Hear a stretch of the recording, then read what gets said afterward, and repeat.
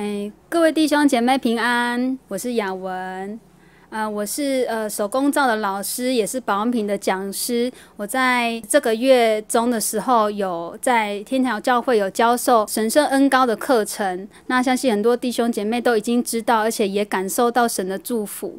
那其实呢，我在七月底的时候才受洗，这几个月间发生了非常多让我感受到不可思议、感受到神对我的恩待的这些故事，想要。分享给大家。其实呢，在我的生命历程中，有非常非常多的人都向我传达了福音。但是在过去的这段时间呢，我是感觉到非常的敬畏，甚至是有点害怕，然后也不愿意接受。但是神非常的、非常非常的神奇，是借我先生的口讲出来，他要我到教会去走一走。让我去感受一下，就是神的神性这样子，他是用这样的形容词，然后当时就是不断不断跟我分享福音的是那个庄宇成大哥跟那个巧莲姐他们两个，我在他们健身房健身的这三年间，他们都没有停止过跟我分享他们的见证、他们的福音，甚至在我的家人、在我的工作、在我的身体健康有需求的时候，他们也不停的帮我祷告。我是感觉到非常的温暖，只但是也觉得很迷惘。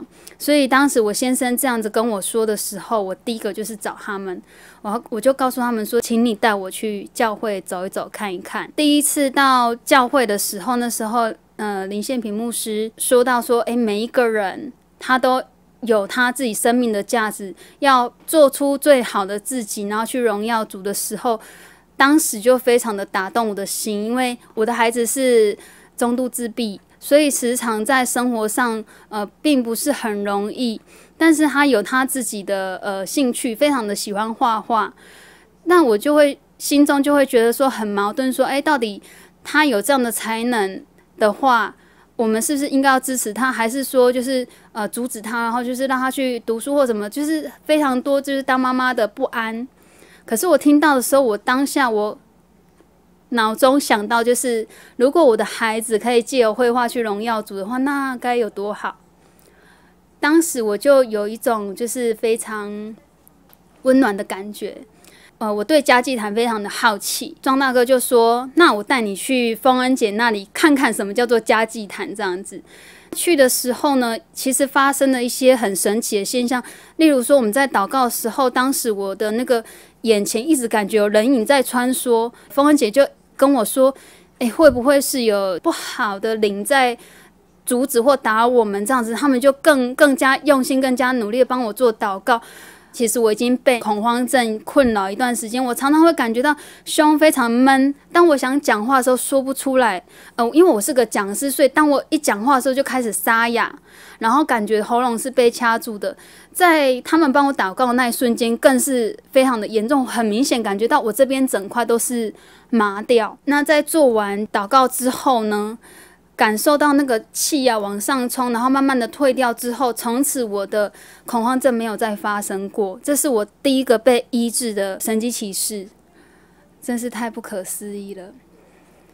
那后来是在参加风姐家祭坛的时候，我的手关节受损的关系已经疼痛了非常长的一段时间，那没有办法弯啊，因为我是手工造老师，我必须要去抓握东西，也因此。非常的困扰。当时莎拉姐也在现场，她就说：“你把你的疼痛对着海，然后对着山抛掷过去，丢出去，然后你的信心就算如戒指一般，也能够移山。”当时大概是这样的讲解跟带领。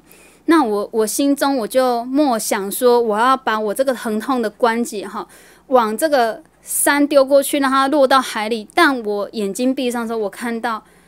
耶稣在对面接住了我的手，我我当时也觉得好笑诶，就是我的想象力怎么会是 就是耶稣这样子接住我的手？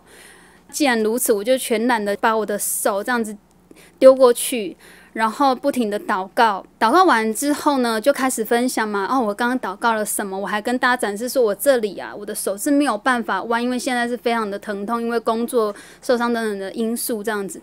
但我是第一个讲。祷告一圈回来之后，我又再度说：“哎，我的手的时候，哎呀，竟然就不会痛了。到目前为止，我的手它能够握得紧紧的。好，它不再有这个关节疼痛的问题，它慢慢慢慢的，现在已经是完全痊愈了，几乎感觉不到疼痛。这是第二件发生的神奇奇事，这样子。第三件事情就是我的婆婆，哎，其实我七月底的时候受洗到现在，刚开始其实也不太知道怎么祷告，哎，幸好那时候芳恩姐送我一本祷告手册。那有一天回家的时候呢，我婆婆是躺在床上，然后就是在呻吟。而且她告诉我说：“不要让孩子靠近我，因为我真的非常的痛。”我婆婆其实是一个疼非常非常疼爱小孩的人，所以我也觉得不可思议，她怎么会这样跟我讲？就是他是小孩怎么样去就是这样子跟他玩闹，他都不会生气的。所以我想他一定非常的痛，所以我就叫来我的小儿子说：“我们一起来帮阿妈祷告，我们来祷告，让他的身体不会那么的痛。”这样子，那就按在他的肚子上，然后按着祷告手册上的内容，呃，请耶稣保守我婆婆的身体，然后他膀胱的癌细胞能够消失也好，或是不要让他再那么的不舒服。我也不知道神的力量这么的大，结果他晚上就跟我说他有比较舒服了，然后隔天再去看诊的时候，他说他在诊间哈，突然感觉到一阵尿急，去排尿的时候竟然排出肉块。他还把那个肉块捡起来去给医生看，医生就是也觉得纳闷，再去检查说，竟然癌细胞是消失的，这实在是太不可思议了。我们其实不会祷告，也不知道用要用什么样艰涩的词语去，或是圣经里面内容去引用，就只是很单纯、真心的去帮我的婆婆做这样子的祷告。所以，我真的真的很想跟大家分享说。你只要把你心中所想的告诉神，他会照顾你。风恩姐帮我做觉知祷告的时候，其实也发生了一件非常神奇的事情，就是她问我说：“我最困扰是什么事情？”我说：“我的孩子是中度自闭症，不管说啊，过去就是我妈妈要求我们去。”那个求神问卜啊，然后还有孩子会闹啊，等等，是让我的生活是极度的疲惫。在他被诊断出是中度自闭之前，其实我觉得我跟我孩子的关系是非常好的，他所有的一切都那么的美好。为什么会一诊断出来之后就变成是这样子呢？一切都变得越来越糟。突然，他的嘴巴就说出一句说：“这个孩子是神送来你身边的天使。”他是神送来要照顾你的，虽然他自己也吓一跳，说：“哎，我怎么会讲这个话？这这个可能是就是神哈用我的嘴巴要告诉你的话语这样子。”那我就突然想到说：“哎，我确确实实在就是还没有这个孩子之前，我在一个状况之下，我在深夜的时候，非常的在心中不停的恳求跟呐喊，求神给我一个完全属于我的生命。”求你给我，给我一个生命，然后改变我的人生，这样子。我说，如果有神，你给我，然后这个孩子就来到我生命。这个孩子其实拓展我的人生非常非常的多，不管说让我呃，就是启动我去学手作，启动我去就是学健身，然后去认识庄大哥等等。我我我觉得这完全就是他在一步一步一步的在强壮我。建立我，其实当然有时候真的是会扛不住吧。曾经有一次，我就是啊，被孩子弄到非常的就是感觉到非常的痛苦，非常的就是难过的时候，我开车后面载着两个小孩，我一边开车我一边祷告，我祷告说：“神，你带走我。”我已经在真的是没有办法再支持下去的时候，我突然我的，我听到一个很。明确的声音跟我说：“不行，你是我的。”他说：“不行，你是我的。”我听到这个声音的时候，我突然就醒过来，因为我我当时其实已经加速想要去撞前车了。我听到那个声音的时候，我突然就感觉到极大的温暖，就是神他就是在我们这个极大痛苦的时候，他他真的也不忍心我们这样的痛苦下去，他也发出声音告诉我说：“不行，你是我的，所以你要留下来。”这是第一次，也是唯一一次听到神在跟我讲话。我们做恩高友的这个课程呢，也是神的引导。我非常的坚信他是神的引导的原因，是因为当时是我婆婆，她突然她开口跟我讲说：“雅文，你去跟牧师讲，好，如果说因为牧师帮我们的孩子。”取一个别名，取一个绰号，能够改变这个孩子的命运的话，你就去尝试看看。因为我们的传统有这样的习惯，如果孩子身体不好，帮他取个别名，他可能会改善。我也觉得说，诶，有这样子的事情吗？刚好来敬拜的时候看到人一牧师，我就赶快跑去，然后跟人一牧师说，诶，拍手，我婆婆提出一个很奇怪的要求，你听听看。结果仁义牧师比我先讲，他说：“雅文，其实我想要请你做手作课程，哈，来那个帮助我们教会的这些朋友也好，或是教会外的朋友也好，来认识我们教会，然后来学习就是不同的手作。”诶，我就诶，怎么会的？好好啊！但是就是呃，讲了这个要取别名的故事啦，哈。那牧师说有啊有啊，其实是有的哦，原来有这样的事情。那这是题外话哈，就是我们教会开课其实是。不是随随便便，是我们有经过非常多的讨论，所以我跟那个牧师也约了一个时间，我们要来做这个课程的讨论的时候，前天晚上，好，我特别早就上床睡了，好休息，因为想说明天我们要聚精会神去讨论这些各个细节与流程。